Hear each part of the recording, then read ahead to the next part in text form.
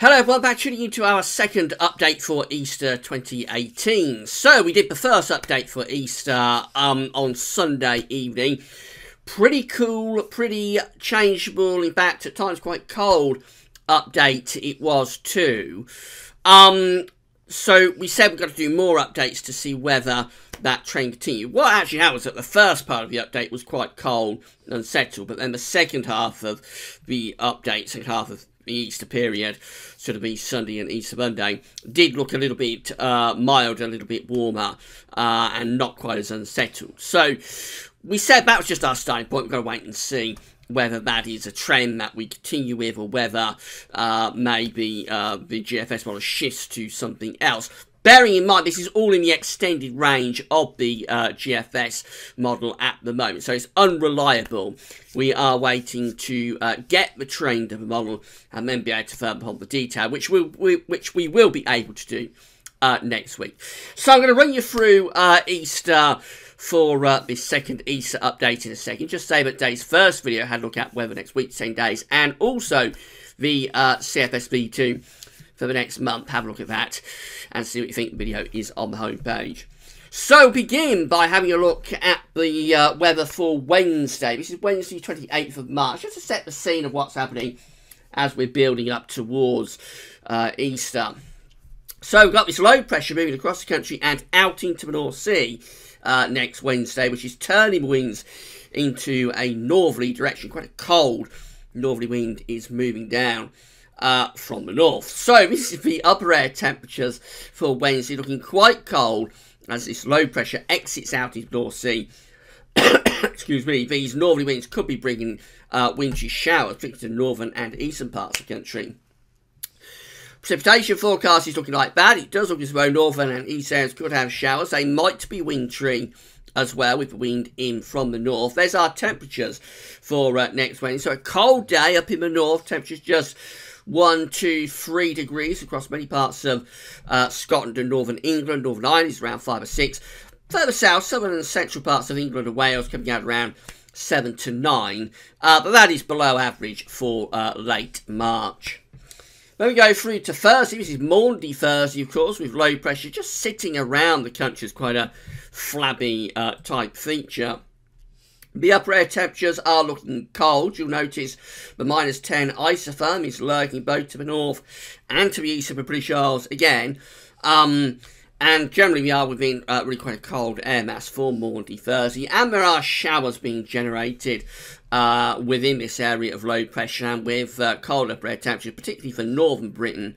Those showers could be wintry. There's our temperatures for uh, next Thursday. So barely above freezing across parts of Scotland and the north of northern England. You'll notice we have got potentially an ice day going on up there. Maybe a little bit over top that. Um, but certainly a cold day. And come further south into England and Wales, talking about temperatures of just sort of 3 to 7 degrees. So quite a cold day. Highest temperatures down on the south coast. Certainly significantly colder than average for the time of year. Uh, this is Good Friday.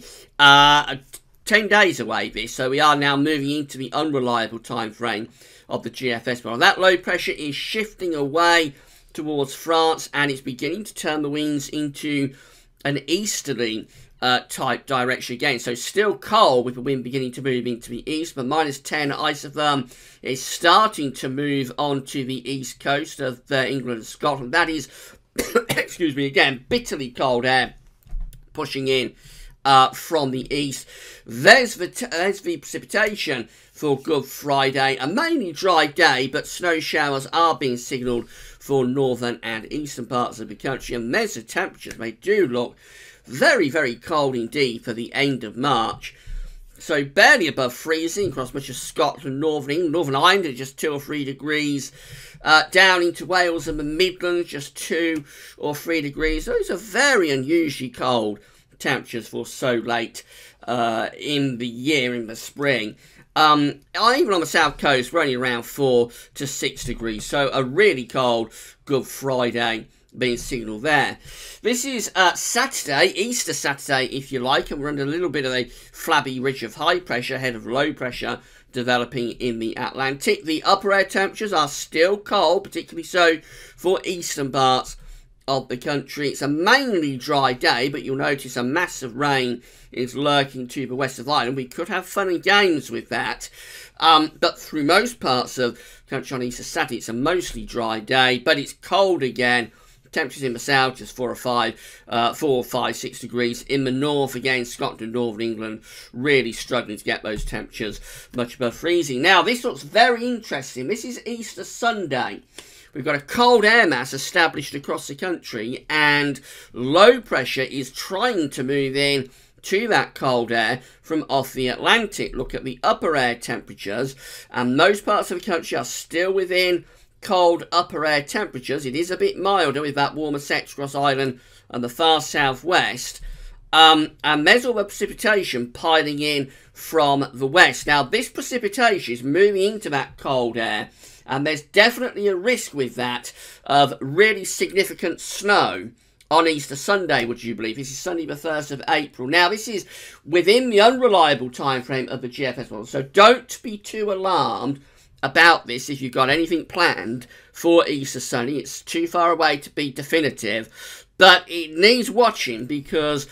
Um, well, have a look at the temperatures. They're barely above freezing across most parts of the country. As that band of uh, rain moves in from the west, there's a definite risk of significant snow there on Easter Day. And then we move through to Easter Monday, and what's happening is that, if anything, high pressure is beginning to strengthen over Scandinavia, and it's causing the weather front and the low pressure that was trying to head in from, from off the Atlantic to stall across country. So there will be a weather front strung out through the British Isles. Upper air temperatures are still looking cold, not quite as cold as they are on Easter Sunday, but nevertheless still cold. And there's precipitation through the country, so that's rain, sleet, or potentially significant snow that's going on there from Easter Sunday through to Easter Monday. There are the temperatures.